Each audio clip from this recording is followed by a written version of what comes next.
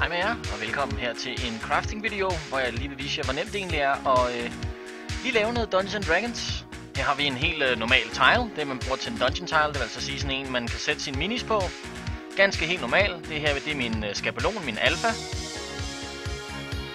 Og jeg vil lige vise jer, hvordan, øh, hvor, hvor nemt det kan være i hvert fald at lave øh, noget ud af Dungeons Dragons. Her har vi tre forskellige øh, ting, vi kan bruge. Der er pap, der er øh, flamingo, og der er øh, legounderlag. Sådan der. Og øh, sætter vi lige skabelonen. Jeg tænker sådan, mens jeg er i gang her, så tænker jeg, hmm, det ville jo ikke bare være fair at bare tegne den. Så øh, vi tager linealen frem.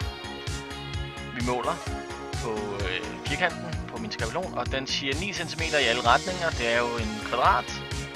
Vi måler 9 cm ud på pappet. Vi kan lige finde ud af, hvad der er smartest. Vi tager den der vej ned først, fordi så kan vi nemlig tegne den der vej.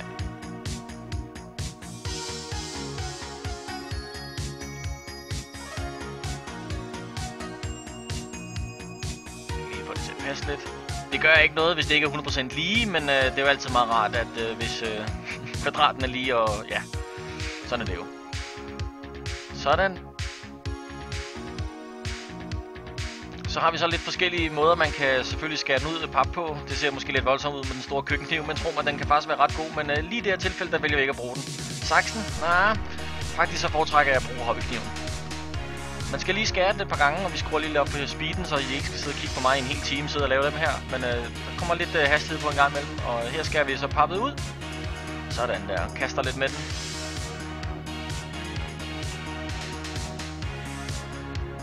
Og så kan I se her, jeg har fundet en uh, pizzabakke, og øh, man kan virkelig bruge meget af det der kat- øh, pap og øh, karton, man har til sin dagligvarer til, til at lave Dungeons Dragons. Øh, pappet for eksempel er fra en gammel flyttekasse, så altså, næsten alt kan bruges. Det er bare et spørgsmål om, hvor billigt du vil gøre det, og det kan altså stadig se skide hammerne godt ud, selvom det er billigt. Her tager vi saksen, klipper firkant. Vi brugte altså den skabelon, vi lavede lige før, fordi så slipper vi for hele tiden at måle de der 9 cm i hver hjørne. Bubelum. Sådan. Og sådan. Så skal vi lige tjekke skabelonen. Så kan I se, at øh, jeg har et, øh, et mønster på øh, selve den her firkant med det røde kryds. Det er det, vi lige prøver at øh, tegne lidt efter her. Vi gør det på den nemme måde. I skal bare... Øh, jeg har ikke nogen mål til det, men cirka... Ja, jeg skriver nogle, øh, nogle mål øh, på skærmen. Men ellers er det bare... Øh, det skal bare... De skal bare være nogenlunde lige. Faktisk nogle gange, hvis de ikke er 100% lige, så ser det bedre ud. Det vil I også se senere, hvor jeg bare øh, eyeballer den og bare fuldstændig øh, freehander øh, en af dem i de andre. Øh, og jeg tror, det er den, jeg laver øh, ud af lægunderlag. Men her kan I så se, at øh, de skal bare være nogenlunde lige. Bare, faktisk, der skal bare være de der 8 kvadrater der. Og så klipper vi dem ud, fordi at vi skal netop lige bruge dem til noget her. Sådan. Så gør vi det, at øh, det vil ikke bare give mening at smide øh, 8 kvadrater på, der er jo præcis den samme størrelse som øh, det, vi lige har klippet ud. Så vi øh, tegner lige hurtigt, bare lige for, det kan man gøre. Man kan også bare øh, klippe den i hånden, det vælger jeg at gøre bagefter. Men det er for, at de lige er lidt mindre, og derfor kommer der til at være mellemrum imellem de her 8 kvadra- øh, kvadrater, som så ikke længere bliver helt kvadrater, men det er igen det der med, hvis, hvis det ikke passer 100%, så kan det faktisk øh, risikere, at det giver en helt øh, bedre tekstur, end, øh, end det, det skal. Vi klipper løs her, bare lidt tilfældigt. Det behøver ikke at være så vigtigt. Lige rydde lidt op, så der er lidt plads. Sådan. Alle otte er klippet ud. Så tager vi lige noget trælim fra Hjem og Fix. Den dejlige billige af slagsen. Det behøver ikke at være... Det skal ikke koste noget, det her. Det, det gælder om at gøre det så billigt og så godt som muligt. Vi smører det ud på pappe. Tager mine fingre. Smører vi det lige ud, så vi er lige sikre på, at det hele dækker. Ja, og så skal man lige huske at tørre fingrene af, for ellers så er der lim på alt og alting. Sådan der. Vi limer altså så det her øh, pap på fra pizzaæsken. Og vi husker selvfølgelig, at det skal være den blanke, den, den side, hvor der ikke er tegnet på, øh, eller printet på, kan vi kalde det. Den skal altså være opad. Sådan, så kan I se, der har vi fået lidt tekstur, der er mellemrum imellem nu. Og det kommer altså til at give en helt bestemt øh, texture senere, når vi så skal male stykket. Det var en måde at gøre det på. Det var den måde pap, 100% pap. Nu tager vi øh, og så gør det ud af lægunderlaget. Det kan alle jo også skaffe i, øh, i Jysk for eksempel. Sådan et helt lægunderlag koster 100 kroner, og det er nemt at tegne i, så det kan bruges til rigtig mange ting. Samme princip, 9 x 9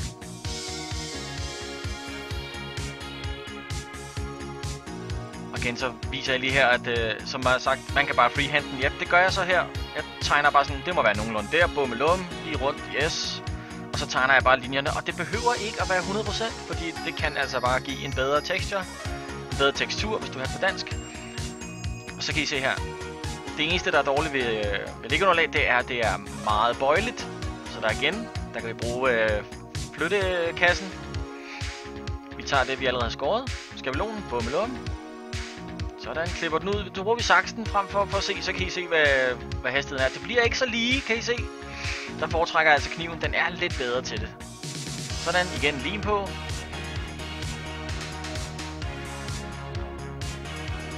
Og så sætter vi den fast.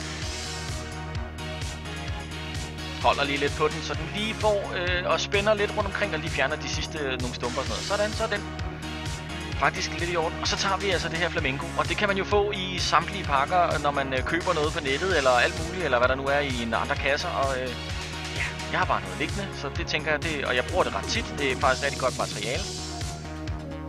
Og det koster ikke noget. Det er så billigt. Det, der så var lidt problem med mit kamera her, det er, at øh, det lys, der hænger lige op over, så jeg kan se noget på... Øh, ja, der siger jeg så, lad være med at klippe med saksen. Og vi tager altså kniven, men som I kan se, det er helt hvidt, og det er fordi, at øh, jeg har en øh, lampe hængende derovre. Køkkenkniv kan også bruges.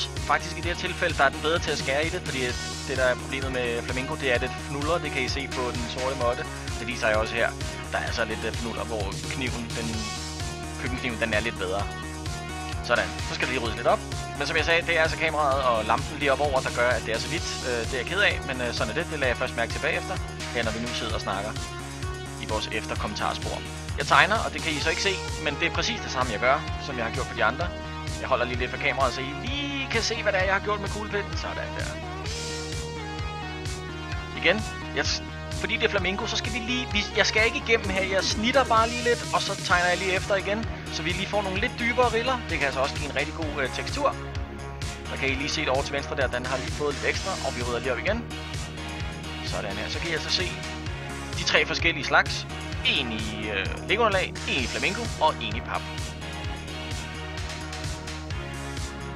Her er der en, øh, en stor beholder af akrylmaling, den billigste af slagsen fra Harald Nyborg. Igen, det behøver ikke at være dyrt, det skal ikke være noget fancy akrylmaling, det virker. Vi tager en billig pensel, også fra Hjem Fix, eller Harald Nyborg, det er lige meget. Det er bare der, det er købt. De skal bare male noget vand. Vi sørger for, at penslen den er lidt våd, fordi at som I kan se, så skal vi jo male. Vi maler alting sort, vi basecoater tingene først, for så får det en bedre belægning, og i det her tilfælde, der kommer sort til at give en rigtig god effekt. Det vil I se senere. Vi skal lige have malingen lidt mere våd, den skal lige være lidt mere tynd, fordi jo tyndere den er, jo bedre. Den dækker ikke så godt, men til gengæld så kommer den ned i alle de revner, vi har lavet på alle vores stykker. Her kan I så se den tekster, jeg har lavet på flamingoen, som I kunne se før, i det jeg begynder at male den.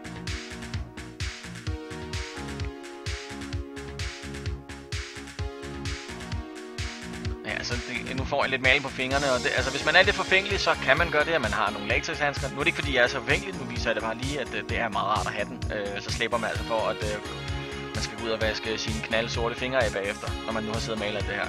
Vi lader lige den være hvid til at starte med. Øh, man kan selvfølgelig male den sort, men øh, jeg vil helst ikke have sort på den øh, måtte, jeg har, så vi vælger lige at lade den være hvid. Så tager vi pappet. Oh, det gør vi faktisk ikke. Vi tager lægunderlaget først.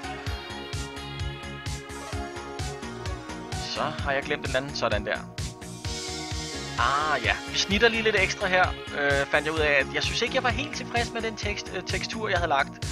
Så jeg tager lige en kuglepen, og så gør jeg lige sådan, så kuglepinden den har sin, øh, jeg vil kalde den, så den ikke er slået ud, fordi så giver det, den er, bliver lidt tykkere, og så giver det lige en bedre tekstur. Som I kan se der, der kommer de der riller imellem fliserne, og det, det, det giver en øh, rigtig god øh, effekt. Sådan, så kan vi male Og det der er lige med øh, liggeunderlaget, det er, at det suger lidt bedre i malingen, så det kan godt være, at det måske nogle gange skal have to gange. Jeg var lidt heldig her, og øh, det passede meget godt. Bum. Over til siden. Og så er der bare tilbage og tage pappen versionen af den, og så se. Hmm, lige her på det tidspunkt, der har malingen jo, eller ikke malingen, undskyld, trælinen, den er ikke tørret, så vi springer lige lidt frem i tiden, og så viser jeg bare lige her, altså, hvis man vælger, at det ikke skal tage så lang tid, så kan man jo bare lige bruge en limpistol, hvis man har det. Men øh, husk på, limen er varm, så pas på fingrene. Sådan der. Så maler vi den sort.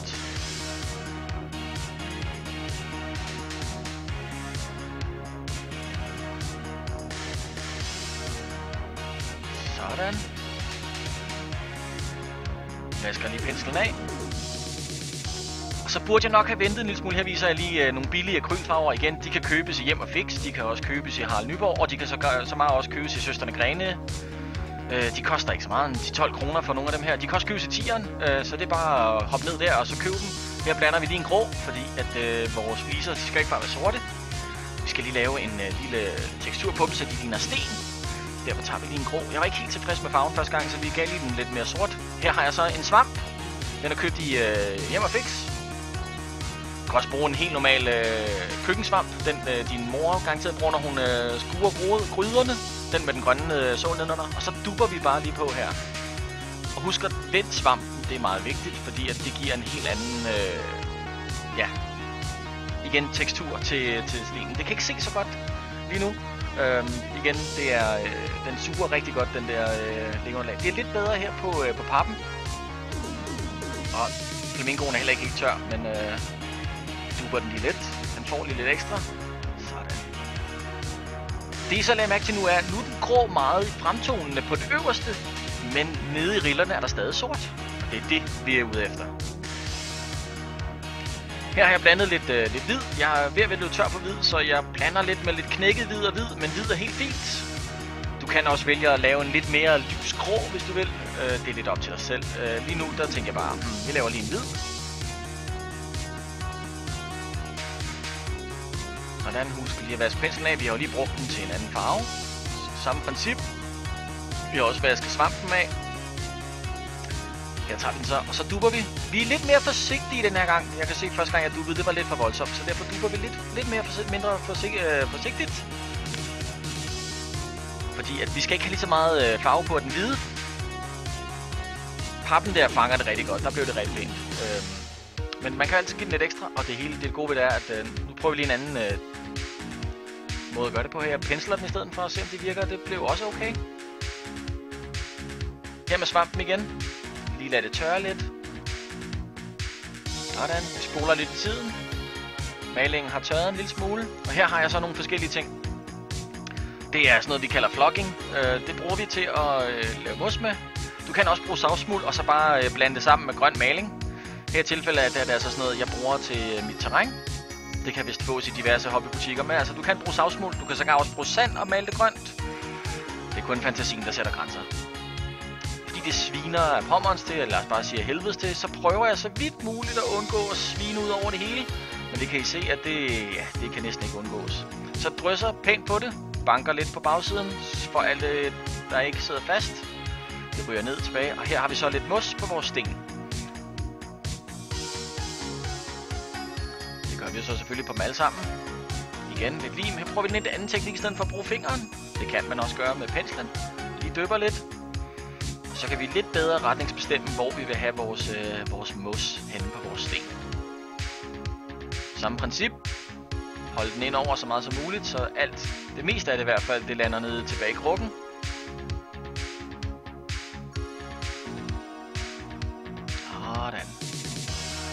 Blev ikke helt dårligt. Jeg er faktisk øh, rigtig tilfreds med øh, den, den, der kun har lavet hul og pap.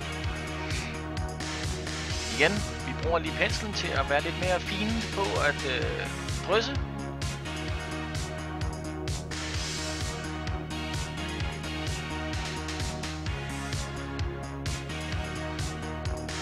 Sådan. Så rydder vi lige lidt op. Så går vi nu lige kan. Sådan. Og så kan I se, så har jeg fået lidt ekstra med der. Men ved du hvad? Der er der simpelthen sådan en fantastisk trick, så man lige får det til at forsvinde. Up til. Så er det væk. Og sådan tre tiles i tre forskellige øh, former, eller hvad skal vi kalde det? Tre forskellige slags tiles. Den billigste, det er nok den i midten der, jeg har der. Den er bare lavet rent ud af pap. Det, det er nemt at få fat i. Det er en flyttekasse, og så hvad der ellers er, pizzabakker og alt muligt kan bruges. Ris og whatever. Alt køkkengrej, øh, der er pakket ind i pap. Og så er der den i flamingo. Simpelthen. I får lige nogle øh, billeder af det helt færdige resultat af de tre forskellige, vi har lavet. I får lige nogle billeder af noget af det, jeg har lavet, og så øh, kan I se, hvordan jeg bruger det på mit bord. I kan så se, at øh, da jeg valgte at lave alle mine tiles, der valgte jeg at lave dem ud af flamingo. De er skåret på en lidt anden måde, og det vil jeg vise jer i en anden video, men her kan I i hvert fald se mine dungeon tiles. Jeg håber, at dem, der er Dungeon Master, der har så kigget med, de kan bruge det her. Det er super nemt, og jeg vil lave nogle flere videoer af andre ting i nærmere fremtid. Men øh, indtil da, held og lykke med craftingen. Vi ses. Hej hej.